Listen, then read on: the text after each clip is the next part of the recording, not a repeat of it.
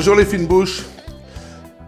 Dans la vidéo qui suit, on va traiter d'un produit qu'en général, on va acheter chez un traiteur parce que c'est un beau boulot à fabriquer. Par contre, croyez-moi, la fabrication maison, dans laquelle on met ce qu'on veut, qu'on aromatise comme on veut, ça reste quand même toujours la bonne solution. Aujourd'hui, boucher à la reine. On va déjà travailler sur tout ce qui est garniture et on fera tout à l'heure un petit clin d'œil pour voir comment on fait les bouchées. D'accord? Quels sont les ingrédients nécessaires à la fabrication de l'appareil qui va à l'intérieur de la bouchée? Il y a une base ferme et je vais vous donner des options.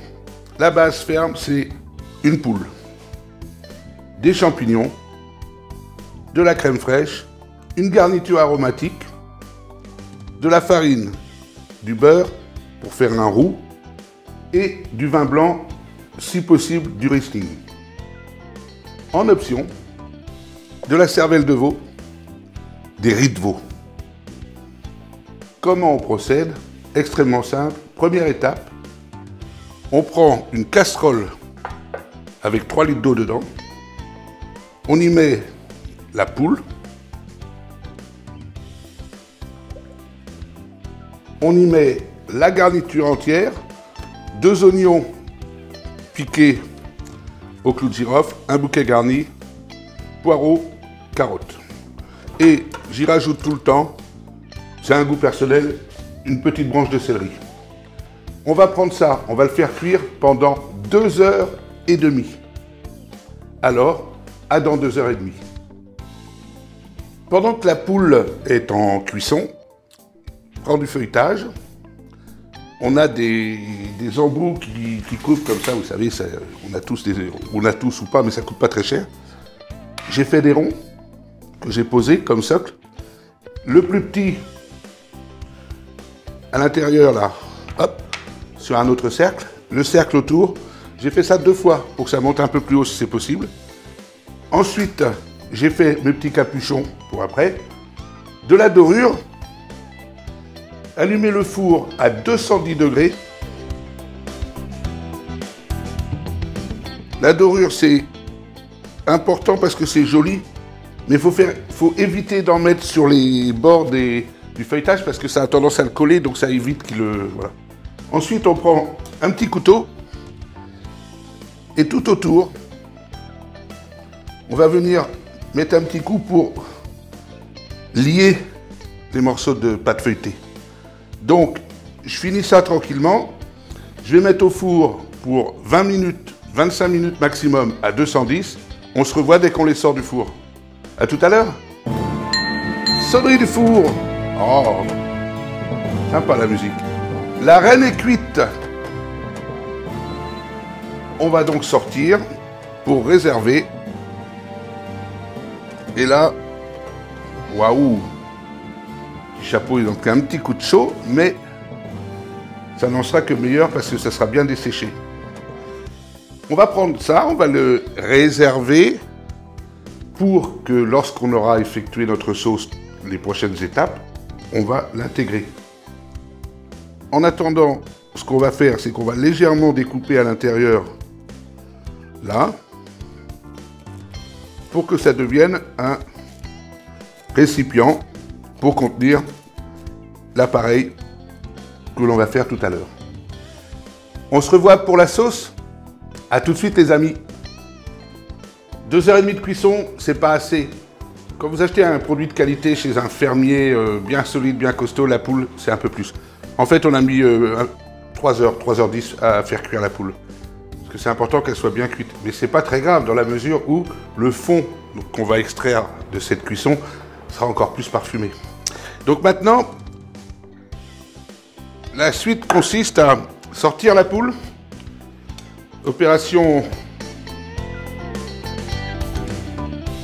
compliquée parce que c'est lourd et c'est chaud. Et il va y avoir beaucoup de jus qui va courir et on la met ici. Voilà. Vous voyez le liquide blanc qui est sorti? Ça veut dire que c'est cuit. Là, la poule, on la laisse refroidir. Alors c'est encore du temps, c'est presque une heure. On la met pas au frigo, hein, sinon ça va faire un, un chaud-froid, ça va abîmer la viande. On la laisse refroidir naturellement. Et pendant ce temps-là, avec le jus, le fond qu'on a récupéré, on va faire les cuissons de nos aliments. Riz de veau, cervelle, amourette, ce qu'on veut. Alors à tout de suite pour les premières cuissons. On a récupéré un joli fond. J'ai mis la poule de côté à refroidir. Maintenant, dans ce très bon fond de poule, on va y faire cuire les cervelles pendant 15 minutes. À feu vif, mais pas trop. Il faut que ça frémisse. D'accord? À dans 15 minutes. Nos cervelles sont cuites. On va les débarrasser. On va réutiliser le fond pour cuire les riz de veau. Les riz de veau, on les met, nettoyer, détacher, et on va les laisser cuire pocher douzaine de minutes. A tout de suite. La poule est refroidie. On détache l'aile, la cuisse, pardon, l'autre cuisse. On va lever la peau.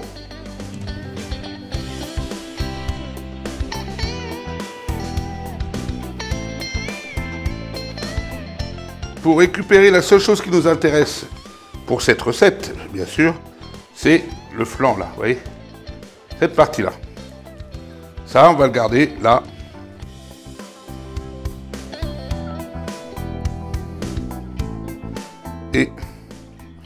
L'autre côté, idem.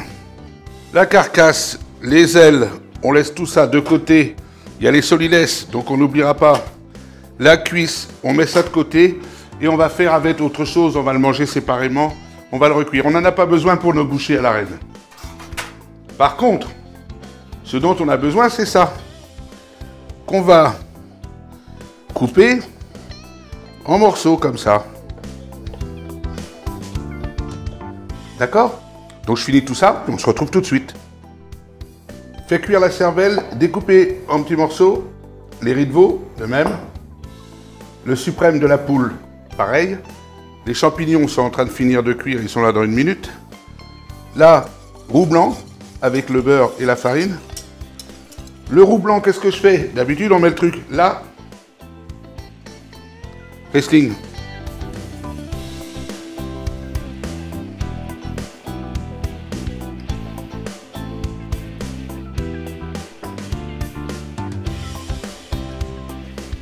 Et ça chauffe. Et donc, ça fait un début de sauce. Crème fraîche.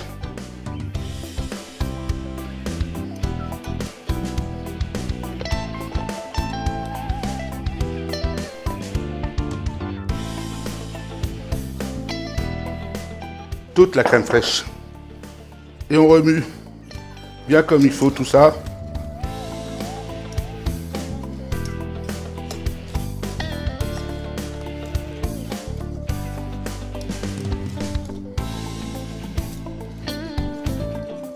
Et là, on mouille avec notre bouillon ou fond, comme on veut, de volaille.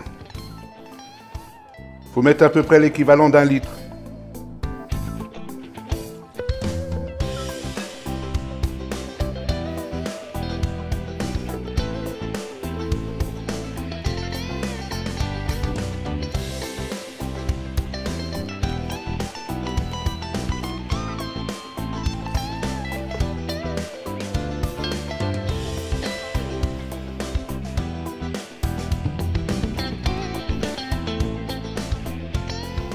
Voilà, on doit avoir notre litre.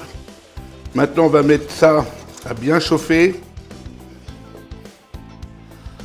On va pas oublier de mettre du poivre blanc.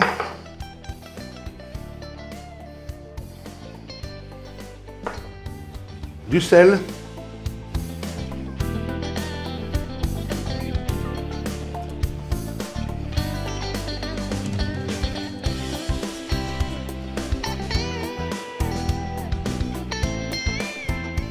On ajoute en premier les suprêmes de la poule, là, qui vont être dedans.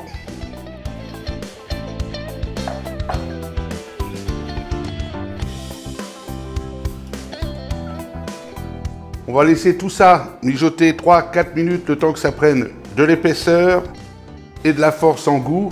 Et on revient pour la quasi-conclusion dans 5 minutes. Les amis, voilà donc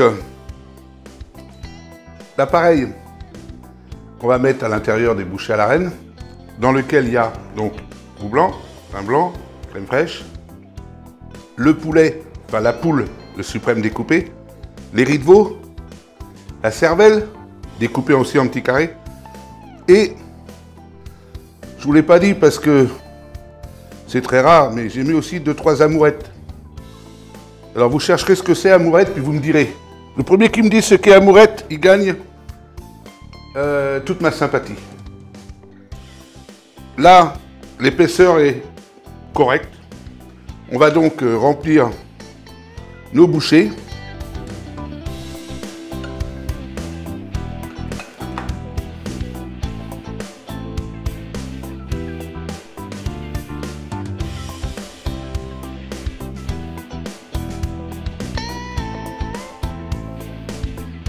C'est normal que ça dépasse un peu, hein, c'est l'idée.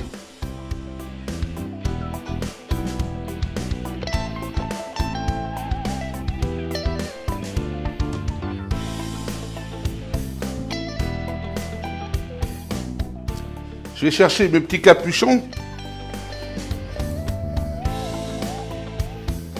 Et, évidemment, après avoir servi ça, on met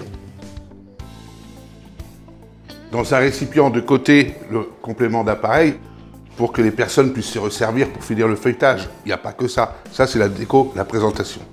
Voilà les fines bouches. Boucher à la reine. Un plat très très ancré dans la gastronomie française. Même s'il vient d'Alsace, il est très très bien intégré. C'est très bon. Il y a beaucoup de produits de qualité on n'est pas obligé de tout mettre. Certains, comme le riz de veau, sont assez chers et c'est pas à la portée de tout le monde. Mais on peut le remplacer par des quenelles de poisson, de volaille, ce que l'on aime. Par contre, si on peut le déguster avec un petit vin d'Alsace, on reste dans une forme de tradition. Alors, à vos couteaux, à vos fourchettes et bon appétit. Alors, tout se passe bien?